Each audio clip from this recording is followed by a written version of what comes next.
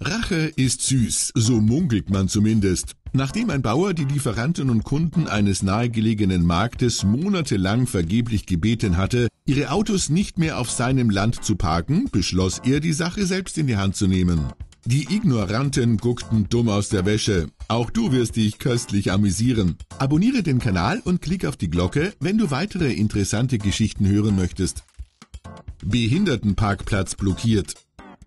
Einen Parkplatz zu finden scheint heutzutage ein universelles Problem zu sein. Neben dem Landwirt gibt es noch mehr Menschen, die unter den vielen Autos leiden. Denn die Parkfähigkeiten mancher Autofahrer sind einfach grauenvoll. Eine Gruppe junge Leute aus Brasilien wollte etwas dagegen unternehmen. Mal wieder hatte sich jemand ohne Berechtigung auf den Behindertenparkplatz gestellt. Diese sture Ignoranz konnten sie nicht länger tolerieren. Es war an der Zeit für eine humorvolle Lektion. Und diese urkomischen Bilder sind das Ergebnis. Stell dir vor, es wäre dein Auto. Du kommst nach einer Stunde wieder und findest es so vor. Ich glaube, in diesem Moment wäre dir nicht zu lachen zumute gewesen. Sag uns deine Meinung in den Kommentaren.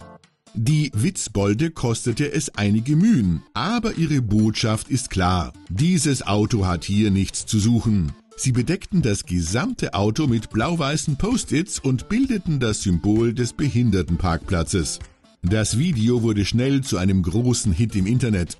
Und der Titel war eine klare Botschaft an alle Menschen, die das Schild ebenfalls ignorieren. Das passiert, wenn man auf einem Behindertenparkplatz in Brasilien parkt. In dem Video sieht man, wie viele Passanten sich über die Aktion freuen. Dann kommt der Autobesitzer und versucht wütend alle Post-its von seinem Fahrzeug zu entfernen, während ein Polizist amüsiert zusieht. Dies impliziert, dass der Streich von einem Unbeteiligten initiiert wurde, der sich die kreative Bestrafung spontan ausgedacht hatte. Doch nach Recherchen stellte sich heraus, dass der Clip tatsächlich vom brasilianischen YouTube-Comedy-Kanal Canal Boom stammte. Die Originalversion beginnt mit einer kurzen Vorstellung der Witzbolde und zeigt, wie mindestens fünf Personen dabei halfen, das Fahrzeug voll zu kleben. Aber egal, ob alles inszeniert war oder nicht, es bleibt komisch. Die Papierverschwendung war es wert. Armer Parkwächter. Tausende Post-its auf deinem Auto wegen fehlerhaftem Parken sind ärgerlich. Aber eine Geldstrafe? Da werden manche Leute richtig wütend.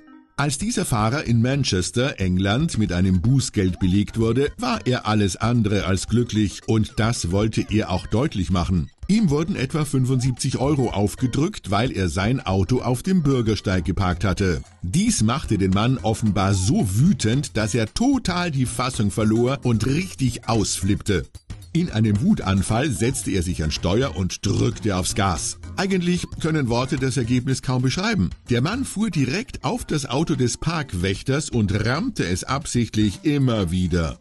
Mehrere Augenzeugen zückten sofort ihre Smartphones und begannen den Vorfall zu filmen. Dabei ist zu sehen, wie der Fahrer völlig außer sich das Auto des Parkwächters mutwillig zerstört. Und dieser hatte keine andere Wahl, als sich zurückzuziehen. Er muss schreckliche Angst gehabt haben. Was würdest du in einer solchen Situation tun? Lass es mich in den Kommentaren wissen. Lautes Brüllen, der Versuch wegzufahren und die Hoffnung, dass der Mann sich beruhigt, schienen die einzigen Optionen zu sein. Trotz der vielen Attacken blieb der andere Mann glücklicherweise unverletzt. Und der aggressive Typ? Nun, der hat sich hoffentlich einen Therapeuten gesucht und endlich mal an seinem Aggressionsproblem gearbeitet. Eine Geldstrafe ist nicht schön, aber so auszurasten, das hat ihm natürlich noch mehr Ärger beschert. Hast du je ein Ticket erhalten?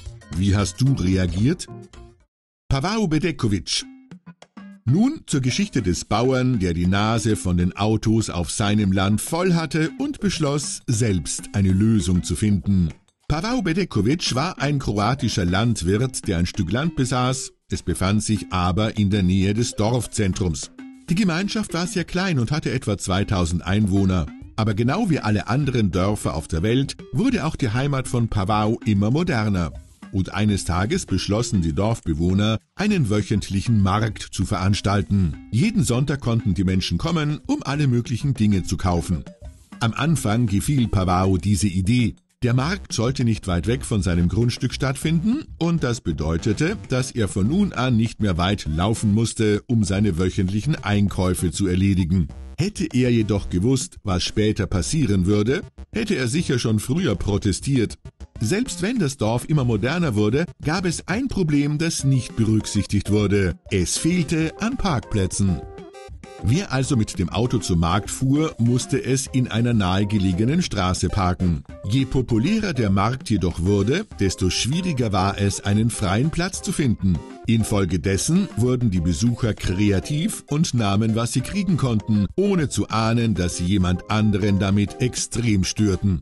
Nach einigen Wochen kamen immer mehr Leute und parkten ihre Autos einfach auf Pavaos Feld. Das war für ihn anfangs kein Problem. Es waren ja schließlich nicht viele.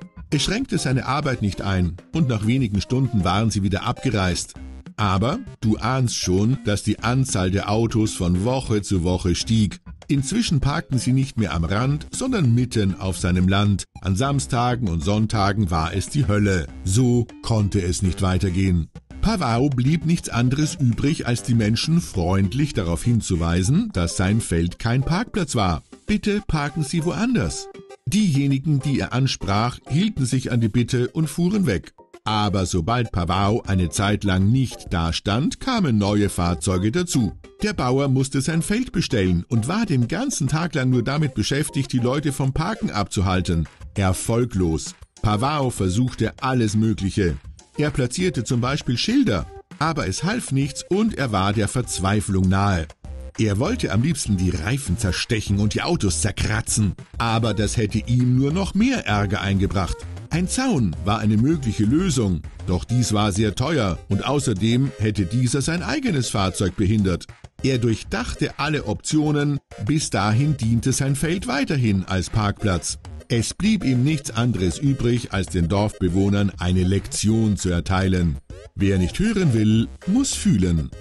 Nachdem sein Land zum x-ten Mal von Dutzenden Autos zugeparkt worden war, wusste Pavao, dass er härtere Mittel brauchte. Er atmete tief durch und dachte an all das Chaos, das er in wenigen Minuten verursachen würde. Er konnte nicht einschätzen, wie die Leute reagieren würden, aber er war sich sicher, dass es die richtige Entscheidung war. Er lief zielstrebig zu seinem großen roten Traktor und schaltete den Motor ein. Er fuhr direkt zu den geparkten Autos. Im ersten Moment hätte man denken können, dass er sie plattfahren wollte, doch er hatte ganz andere Pläne. Er wollte später am Tag Mais pflanzen, und nun war es an der Zeit, das Feld dafür zu pflügen. Also tat er es. Ganz egal, dass dort noch Autos standen. Viele Dorfbewohner staunten. Sie sahen ihm zu und spekulierten über seine Absichten. Machte er einfach nur seine Arbeit? Oder stand etwas anderes dahinter? Was glaubst du? Schreib deine Vermutung in die Kommentare, bevor du dir den Rest des Videos ansiehst. Pavao kümmerte sich nicht darum, was andere Leute dachten, er pflügte in aller Ruhe weiter. Bald wurde jedoch klar, was er erreichen wollte. Er wollte endlich sein Feld bestellen, gleichzeitig aber auch die Falschparker ärgern. Und je mehr er pflügte, desto schwieriger wurde es, die Autos wegzubewegen. Was für ein gerissener Mann. Die Besitzer wurden sehr wütend. Doch die Zuschauer, die ihr Auto nicht auf dem Feld geparkt hatten, begannen laut zu lachen. Eine Frau war alles andere als amüsiert. Ihr grauer Peugeot steckte völlig fest und sie konnte nirgendwo hinfahren. Sie war stinksauer und versuchte erfolglos wegzukommen, doch die Reifen drehten durch. Sie gab Gummi und versank nur noch tiefer im Dreck. Nach einigen Minuten gab sie auf, doch dann geschah etwas, womit Pavao nicht gerechnet hatte. Sie alarmierte die Polizei. Als die Polizei eintraf, war sie erst einmal baff. Und es war überdeutlich, dass sie noch nie zuvor in einer derartigen Lage gewesen war. Sie wurden sofort von den verärgerten Marktbesuchern überrannt. Sie forderten von der Polizei eine hohe Geldstrafe gegen Pavao zu verhängen. Einige waren so wütend, dass sie sogar wollten, dass er verhaftet wird. Doch dann sprachen die Polizisten mit Pavao, der ihnen seine Version der Vorkommnisse erklärte. Bald wurde klar, dass hier nicht Pavao, sondern die Besitzer der Autos die Schuldigen waren, denn schließlich hatten sie ohne Erlaubnis auf seinem Land geparkt. Hätten sie rechtliche Schritte eingeleitet, hätten sie sich ein Eigentor geschossen. Aber für den alten Bauern wäre dies eine zusätzliche Rache gewesen. Nun war er sich sicher, dass niemand jemals wieder auf seinem Land parken würde. Und am Ende hatte er sein Ziel erreicht. Er konnte endlich seine Arbeit erledigen. Die Videos von Pavaos Rache wurden zu einem viralen Hit. Menschen auf der ganzen Welt fanden seinen Umgang damit gut. Sie hielten die Racheaktion nicht nur für lustig, sondern auch für legitim. Und sie war auch enorm kreativ. Denn seine Lage war keine Standardsituation. Jemand schrieb, dieser Bauer ist nicht mürrisch, er ist einfach unglaublich klug. Niemand darf einfach so auf dem Land eines anderen parken. Hut ab vor diesem mutigen Mann. Was ist mit dir? Glaubst du, dass der Landwirt gute Arbeit geleistet hat? Oder denkst du, dass eine andere Lösung besser gewesen wäre? Schreib es uns in die Kommentare. Ich bin neugierig. Abonniere unseren Kanal und klick auf die Glocke, damit du keine interessanten Geschichten mehr verpasst. Wir sehen uns morgen beim nächsten Video.